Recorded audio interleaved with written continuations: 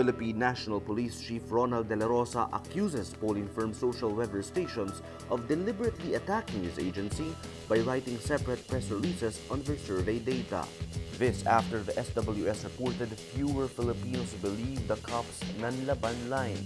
The finding was included in a release to the media on October 11, but they published a separate press release on it on October 23.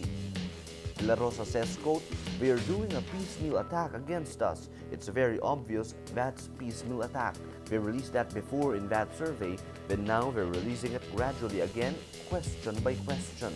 De La Rosa says the release came at a time when criticism against the PNP was muted after President Rodrigo Duterte took the war on drugs out of their hands.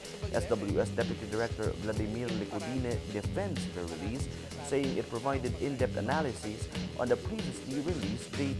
Licodine says, quote, we are not in any way attacking the PNP with our media releases. We have our own timeline that we follow regarding our releases. De La Rosa says he is not questioning the findings of SWS, but he admits he's troubled by its sporadic releases. Licodine says they will still publish more in-depth releases in the coming weeks on the war on drugs. Marami pa. Na, marami pang lalabas na mga issues na i-release namin sa media like yung martial law, like yung BBL for example. May mga data pa na ilalabas, hindi lang yung issue na yun.